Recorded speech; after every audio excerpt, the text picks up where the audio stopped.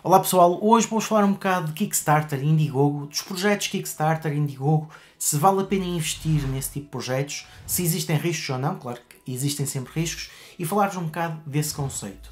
Eu tenho aqui diferentes produtos que já recebi de, de projetos que começaram no Kickstarter, tenho só, é só para vos dar aqui um exemplo, porque muitas vezes o Kickstarter ajuda uh, a existirem produtos que são totalmente diferentes do que vocês estão habituados a ver, ou que são conceitos que não são tão comercializáveis e que são muito direcionados para certos nichos. E uh, com o Kickstarter uh, eles conseguem encontrar esses nichos e as pessoas que querem ter esse tipo de produtos vão conseguir tê-las a um preço mais baixo. Ou seja, para começar, como é que isto tudo parte? Imaginemos que alguém tem um conceito ou até já tem um protótipo, mas não tem dinheiro para inicializar a produção em larga escala, quer seja uma pessoa, quer seja uma empresa, uma empresa pequena, uma empresa grande, e então o conceito todo é nós vamos ser o, quem vai patrocinar uh, esse início da empresa, quem vai patrocinar esse produto. E quais são as vantagens que eles fazem? Eles uh, comercializam diferentes uh, patamares do produto, ou seja, por exemplo, eu tenho aqui um, um, produto muito simples que acaba por ser para abrir caixas e, e eles têm diferentes patamares em que no patamar inicial vocês dão 10 dólares e só estão a contribuir para ter uns stickers ou uma coisa assim. Depois dão 20 dólares e têm um produto. Dão 35 dólares e eles oferecem-vos dois produtos. E o conceito que está por trás disto é que quando vocês estão a, inicializar o projeto Kickstarter, vocês conseguem ter um produto a um custo reduzido, digamos 40%, 50%. Porque a partir do momento em que eles conseguem iniciar a produção, depois, quando estiverem a vender estes produtos fora do Kickstarter, fora do Indiegogo, o produto vai custar mais. Então o conceito é: vocês estão a apoiar a empresa, estão a, a, adiantar o dinheiro, ainda não têm o produto, mas a contrapartida é que depois vocês conseguem ter esse primeiro produto a um, um custo muito reduzido. E as pessoas que comprarem depois fora, é claro que vão pagar na totalidade o produto. Portanto, no Kickstarter ou no Indiegogo, depois que costuma existir é um valor mínimo que eles têm que atingir para inicializarem o projeto. E com esse valor mínimo, o Indiegogo ou o Kickstarter dão esse valor à empresa, dão esse valor à pessoa que fez aquele projeto e a partir daí ele tem que vos ir atualizando e, dar, e dando o, como é que está o feedback até o momento em que vos conseguem enviar o produto. Aqui o maior, o maior problema que existe é que entre o momento em que vocês dão o dinheiro e o momento em que vocês recebem o produto podem-se passar meses.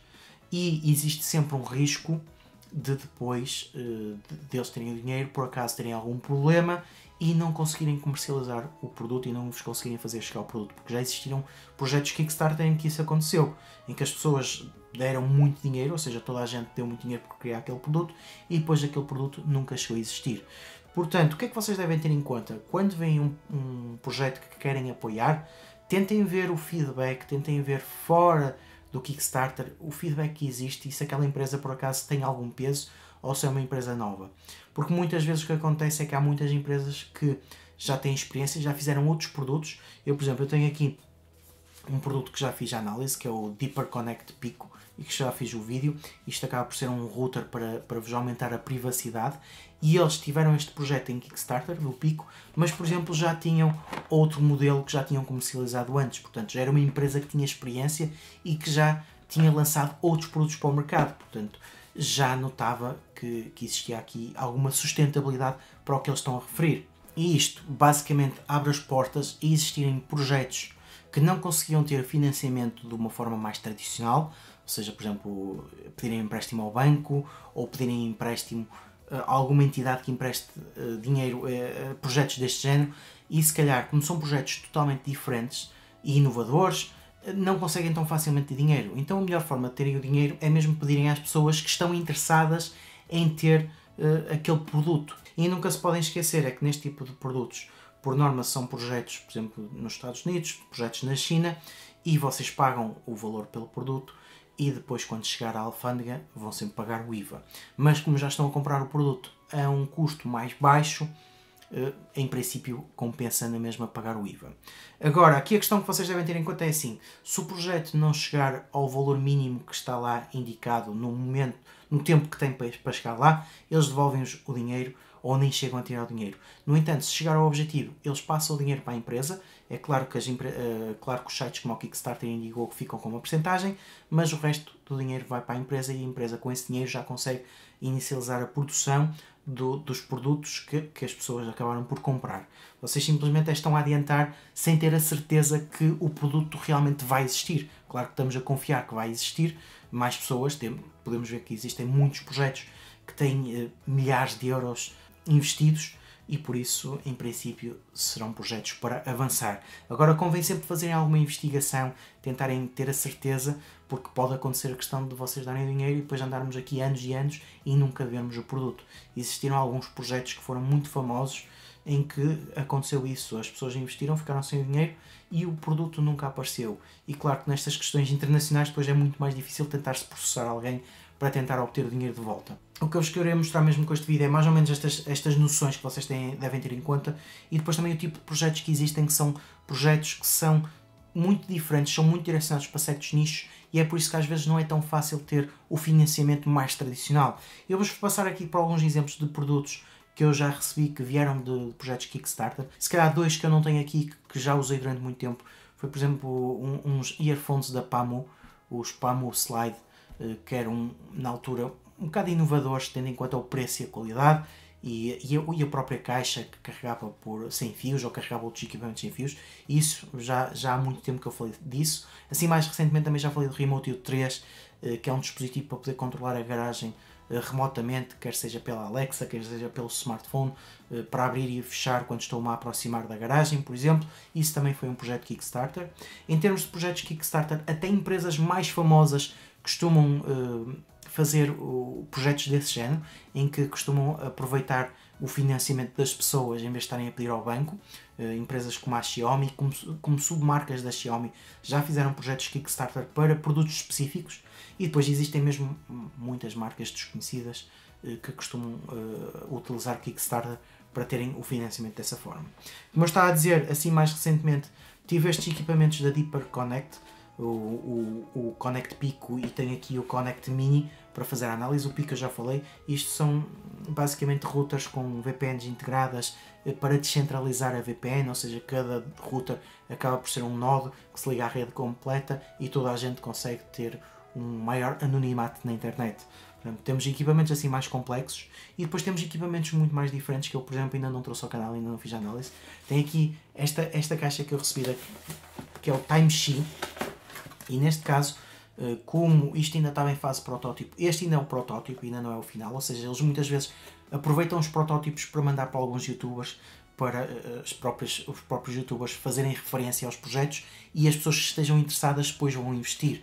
E como podem ver, isto aqui acaba por ser muito direcionado para a produtividade e não é nada mais nada menos que um pequeno mostrador eu estou só a mostrar, eu ainda não fiz a análise, mas isto é um pequeno mostrador que serve para vocês eh, monitorizarem as vossas atividades, ou seja, depois vocês carregam e dizem que estão a iniciar uma atividade, vão ao smartphone e conseguem registrar assim o projeto que vocês estão a fazer e ver depois muitas estatísticas. Mas basicamente, como podem ver, isto até foi feito em impressora 3D, consegue-se perceber que isto foi feito em 3D e eh, acaba por ser um protótipo para divulgarmos para no meu caso eu depois divulgar e as pessoas que tiverem interesse vão ver com mais detalhe o projeto e até podem gostar da ideia, do conceito, mas é um conceito totalmente diferente, mais direcionado para a produtividade, mais direcionado para vocês estarem focados numa atividade. Também tem aqui um que era o Fossi, e isto também o conceito está muito direcionado com produtividade.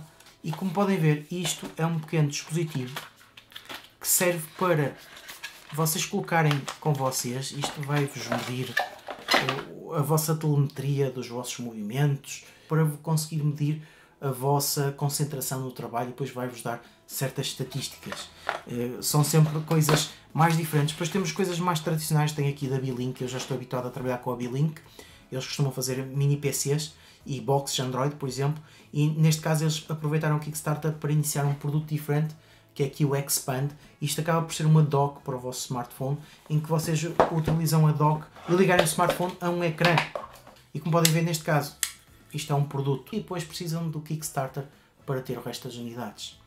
E depois temos equipamentos totalmente diferentes, coisas totalmente que uma pessoa nem pensa que possam existir e só através do Kickstarter, se existirem pessoas suficientes para apoiar, é que elas vão existir. Por exemplo, eu tenho aqui da UBEN o, o G3 e isto não é nada mais, nada menos que um pequeno aparelho, por exemplo, para quem faz unboxings ou para quem costuma abrir muitas caixas, porque de um lado temos uma pequena navalha, uma espécie de x-ato, portanto, isto é única o único objetivo disto é abrir caixas, e do outro lado temos uma caneta.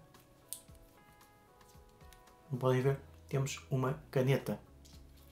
E eles, no, no projeto Kickstarter deles, têm diferentes patamares com diferentes preços, em que vocês podem ter só uma em alumínio ou depois podem ter uma com um estilo diferente. E basicamente o conceito deles é isto.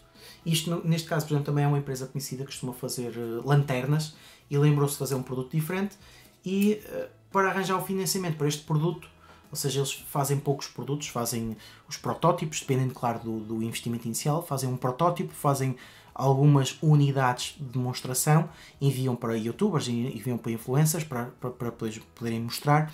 E se existir realmente um nicho que goste deste tipo de produto, o produto acaba por ter sucesso porque tem o financiamento inicial, eles conseguem fazer as, as unidades suficientes para essas pessoas e depois conseguem uh, vender ao público em geral por um preço mais alto. Uh, mas como podem ver, eu tenho aqui diferentes produtos de, de produtos que são mesmo muito, muito direcionados para, para certos grupos de pessoas que, de uma forma geral, se calhar nunca iriam chegar se não tivessem este apoio destas pessoas. Portanto, o Kickstarter e o Indiegogo funciona muito nesta vertente. É de arranjar um nicho de pessoas que gosta daquele tipo de produto, essas pessoas vão apoiar e mesmo que o produto não tenha muito sucesso fora do nicho, já teve o sucesso suficiente para existir e para chegar a essas pessoas que gostaram do produto. Portanto, é mesmo mais nesta vertente. Aqui o cuidado que temos de ter é que podem existir às vezes eh, projetos eh, que não têm como objetivo realmente dar o produto, mas sim obter o dinheiro e depois desaparecem. Portanto, com isso convém sempre procurarmos eh, empresas que até já tiveram outros projetos em Kickstarter que funcionaram ou empresas que já existem há muito tempo e nota-se que não vão tentar aqui fazer nenhuma falcatrua, mas existe sempre esta preocupação de se ter cuidado com os projetos que realmente vamos querer apoiar e dar força porque queremos ver aquele produto no mercado. É interessante existirem estes sites, eh, como o Kickstarter e Indiegogo, que são os mais conhecidos, porque assim realmente aparecem no, no mercado produtos que se calhar não iriam aparecer de outra forma. E produtos que podem, podem ser considerados inovadores, podem ser considerados até iguais, mas geralmente aparecem porque existem pessoas suficientes para dar força ao produto e para ele aparecer. Digam vocês nos vossos comentários se já apoiaram algum projeto Kickstarter, algum projeto deste género, se correu bem, se correu mal, qual foi o, o vosso feedback, como é, como é que correu com o produto, se era exatamente o que eles anunciavam, se vos saiu coisas diferentes. Eu, para já, pelo menos da experiência que tenho tido, os produtos que eu recebo e que vêm de, de projetos Kickstarter, por norma, são exatamente o que eles anunciam. Portanto, já sabem, deixem nos comentários a vossa opinião, subscrevam o canal para que tenham a receber novidades e vemos no próximo vídeo.